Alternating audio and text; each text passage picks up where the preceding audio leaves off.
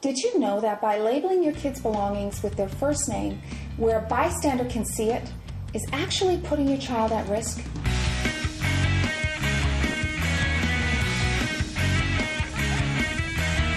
One of the most common tricks a predator will use to gain the trust of your child is to appear familiar and friendly and, of course, approachable. And what better way is there than to call the child by their first name? It's a great trick and it works. Instead of putting your kids' names on their belongings, we're encouraging parents to sit down with their kids and start a craft. Instead of your name, that can be your logo. So let's say you like hearts and stars. You can do a heart, star, heart, star. You know that belongs to you. How about a star? When you put a symbol on your belongings rather than just your initials, it creates this visual cue for your child.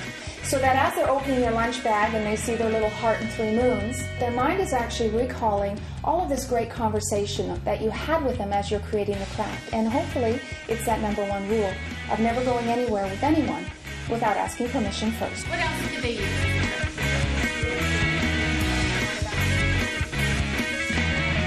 So please join us and thousands of parents and schools and other child organizations who have committed to your children's safety by stopping the practice of asking for children's names written on their belongings.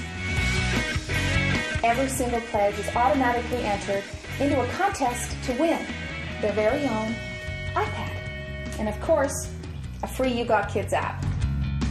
Join us at www.kidproofsafety.com, click on the No Name Zone page, and make your pledge.